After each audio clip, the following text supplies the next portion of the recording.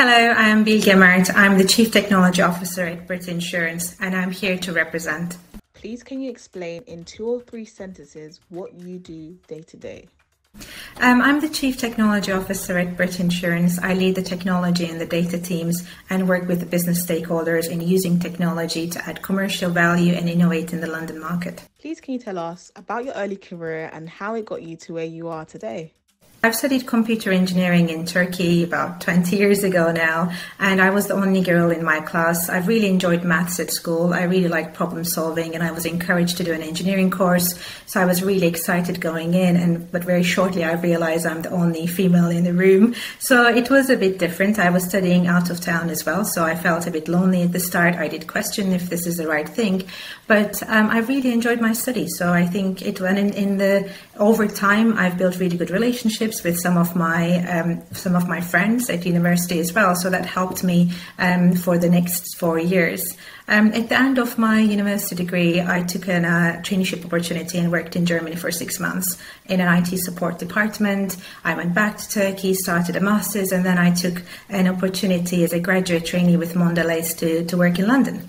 And I thought I would go back and do my master's, but there were so many opportunities in London, so many different career paths, so many things to learn, so much travel.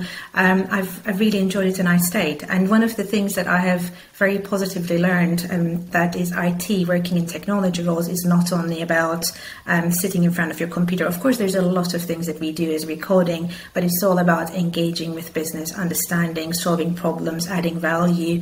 And you get to also uh, work in various different companies and get the opportunity to travel because we live in a multinational world. And if you're working in one of these organizations, you can really get to see the world as well. So I really enjoyed those aspects of my role. And I've changed a few companies. I worked in consulting for a few years, so that really helped me to really move from an expertise um, type of role to a managerial type of role, an advisory type of role. So that really helped me to propel my career and build more confidence in my abilities. And I've increased my responsibilities from then. So I've got 20 years in technology and data careers, which has been all really enjoyable. What's a personal strength of yours that has led to your success as a tech leader? I think the ability to be able to bring people together, collaborate, communicate, change manage, these are all really important skills that I think that helped me and actually that also differentiated me as well from some of my colleagues um, so that I could bring the analytical side of things and the technical expertise but also the ability to bring people together and help us drive towards outcomes. What are the biggest advantages of working in a technology role? Um, from a professional level, it's just been a hugely growing industry, and I think it will continue to grow. So, if you're really looking at growing your career either in a vertical level or in lateral moves, there's a lot of opportunity here. Technology moves and grows all the time, and that's one of the reasons I wanted to stay in technology because I'm a person who likes to learn new things all the time. I get curious, I get bored if I'm doing the same thing all the time. So, I think from a, a professional professional point of view, it's really allowed me to grow. And from a personal point of view, I've um, mentioned at the start, I enjoy the travel, I enjoy meeting people from different cultures and backgrounds, and technology is a hugely diverse environment. Um, I've worked in many projects where we would truly see diversity and we would all work towards the same problems. I think not, I think in many lines of business you see that. Um, so that's something that I personally enjoy both uh, professionally and, and personally. What barriers have you faced and overcome as a woman in tech? Because I was the only girl in my class. Um, there was a little bit of a, am I fitting in the right organization here, in the right place, in the right career? I think I had a lot of situations where people didn't think that I was studying computer science. they thought maybe I'm in, a, in another field. Um, I think there's been certain areas, it's just unconscious bias affecting you. You don't get the visibility because they don't think you're the person who could do the job, or they would just naturally, even I think without being mean, they would naturally not think that you are the coder in the room. you are maybe working in marketing, finance, other roles where you know you see more women but not in coding. So I think it took a while for me to build my visibility and confidence and voice, and also feel more assertive in that environment. Um, so um, I think that is something that I would encourage all women, whether you're a new joiner or whether you've had industry experience but going into a more male-dominated industry to work on.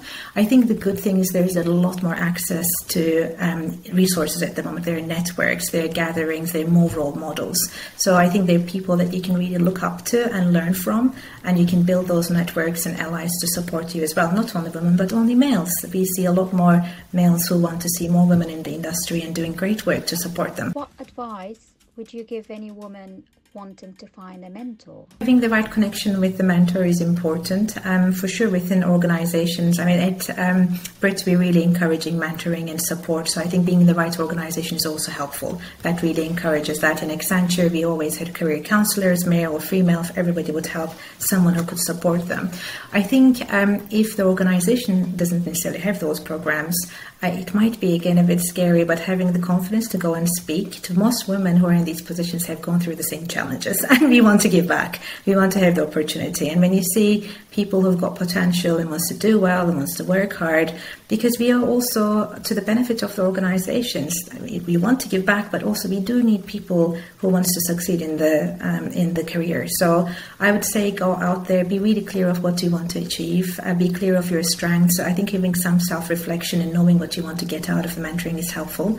But there's a lot of people out there who you can you can support and be encouraged to go after what you really want. What advice would you give to any woman facing imposter syndrome? I think, first of all, it's good to acknowledge that imposter syndrome is very real and it's not only for new joiners, we all have it at all levels. So I think being awareness of that is almost like one step towards being um, being in a position that you know where this is really kicking in and what you can do in terms of coping mechanisms.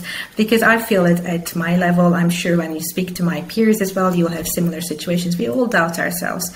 So I think uh, on, on top of everything that I've mentioned in terms of networks and building the confidence, what's also really important is being open to taking risks and challenges because that's when you grow. So I think sometimes you might be, and I see that a lot with women that I'm mentoring as well, you might be sitting in our comfort zone for a little bit more. Um, so I think really taking the risk, moving, and of course checking in with your support network and allies, being real on where you want to grow, but having an open mindset to things. Like we all fail, we all make mistakes, so don't worry about making mistakes. I think it's more important to try, and what's not really good is if you don't try.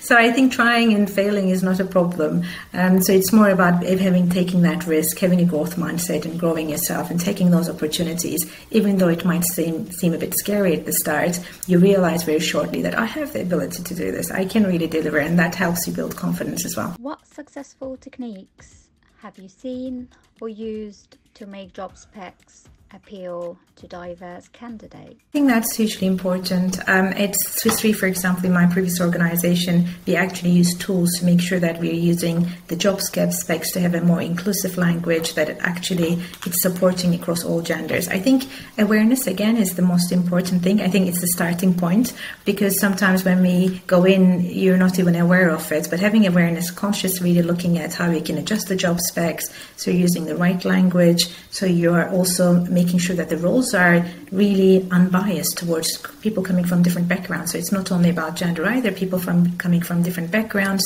is very important. I think more about the inter- interview panels as well and having a uh, diverse interview panel so that we're not um, getting perspectives from a certain um, part of the business, but we really have a more holistic look at when, uh, look at the talent when we are assessing talent. Again, that is not only about gender, but across all areas of diversity, so that we really uh, truly open and we're getting that feedback is very important. And it's not only about recruitment as well, it's about what are the working environments that you're creating. So there are some working mothers that we have, so I think having some flexibility around maybe early starts and early finish so that they can do the school run. Again, being flexible to maybe doing some part time work in certain roles when that's, I think, especially in tech careers, if there's more possibilities of doing that. So creating an environment not only to recruit but grow and retain the talent is hugely important.